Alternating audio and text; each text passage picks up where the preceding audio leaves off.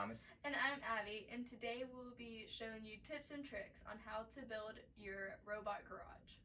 Some of the features and benefits include solar illumination, A door that automatically opens and closes. high quality wood that is super easy to paint and customize to your liking, A two-year warranty protects your robot all year round, and houses 90% and fits 90% of robots. and you have access to your robot from the top. These are the bags that some of the parts and pieces will come in, and on your instructions at the very top of the first page, the screws and some other parts are lettered by the letter that is in the bag. First thing you are going to do is assemble the weight for the garage door. So in our original video, we only had one weight on. However, you do want to go back and put on all three weights. Make sure when you are assembling the screws and the washers that the head of the screw is hitting the foam pad at the very top. This wood is incredibly high quality. It is also very customizable. You can paint it very easily. It also allows you to do more cool features such as this cool door. You are now assembling the roof and you want to make sure you look at the bottom of the roof for the L and R sticker and you put them in the appropriate sides.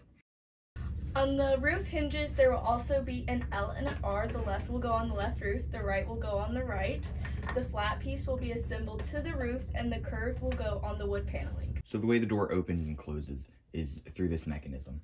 As the robot backs up, the mechanism lowers and the tension on the wire is released, which causes the counterweight to open the door. And as the robot pulls into its home, it pushes the mechanism up, increases the tension, closing the door. Some robots may not be long enough to hold the door shut on their own, so what we're doing is measuring and using a half inch drill bit to do a new notch. And then after this, you want to make sure you tighten the tension wire to ensure that the robot can shut the door. So this is the sign that we made. We made this sign using our 3D pen that is available on our website. Another alternative is us 3D printing it for you.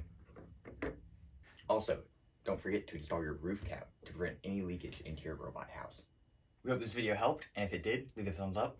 And if you have any questions or comments, feel free to comment below or contact us by email or phone number. I'm Abby, And I'm Thomas. and thank you for watching the video.